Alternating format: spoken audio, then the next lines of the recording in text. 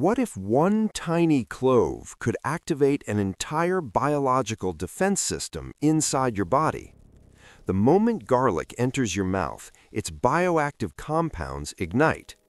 Inside the stomach, powerful sulfur molecules are released, awakening digestion and triggering protective reactions at the cellular level.